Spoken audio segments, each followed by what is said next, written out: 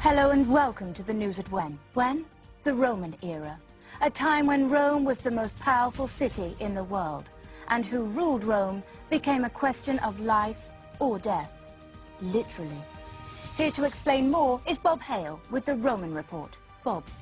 Thank you, Sam. Well, you may have heard that Rome wasn't built in a day, and it wasn't. In fact, it took them a whole year. The year 753 BC to be precise, and there it is, slap bang in the middle of Italy, Rome is founded, and it starts as a kingdom, which means it needs a king. And there he is. In fact, there were several, right up until 510 BC, when we get one called Tarquin. No, don't laugh, and he's a terrible bully. So bad, in fact, that the Romans just get rid of him. Not just him, but kings altogether. Crikey. And Rome becomes a republic.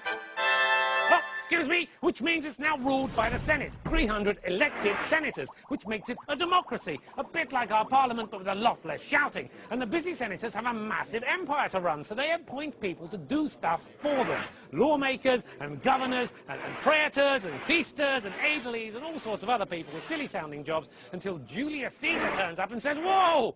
There's too many of you and your job sounds silly. Why not just have one person in charge of everything? Someone like, oh, I don't know, me! Yes, Julius Caesar becomes dictator. He keeps the Senate, but basically he's in charge. A bit like a headmaster, but with a lot less shouting. Then Caesar gets murdered, yeah!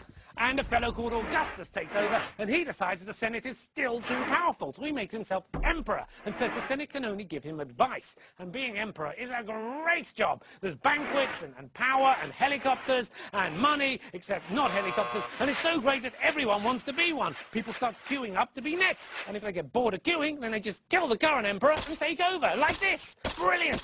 Until someone kills them, and then someone kills them, and then, well, you get the picture. There's a lot of dead emperors. In fact, if we look at the emperometer, we can see that in 193 AD, there were five different emperors in just one year. Ooh, with a whopping six in the year 238 AD. And between 238 and 285 AD, there were no less than 25 different Roman emperors. 25! And their names were Gordian and Gordian and Maximus and Balbinus and Gordian and Decianus and Sapertecatanius and Iatopapanius and Sycalacamanus and Nuela Tula Gay Teladina Macarena, Quay Telahe Palaligaria Blina, Etola Beta Garea Macarena, eh Macarena, hey, back to you, Sam, eh, con la misa Garia Raporena, hey, eh, Mocatia la Mira, hey.